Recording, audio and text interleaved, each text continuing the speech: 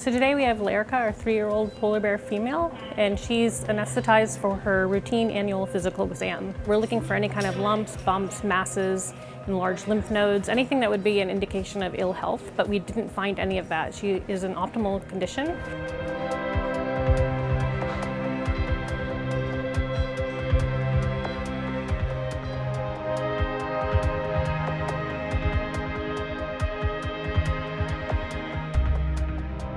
One of the most alarming things that I learned is that the time spent on land for polar bears up there is increasing.